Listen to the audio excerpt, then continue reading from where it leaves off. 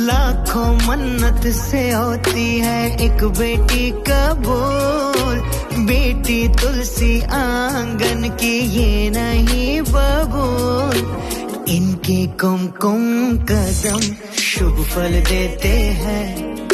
परियों के देश में वो तो रहते हैं। घर को जन्नत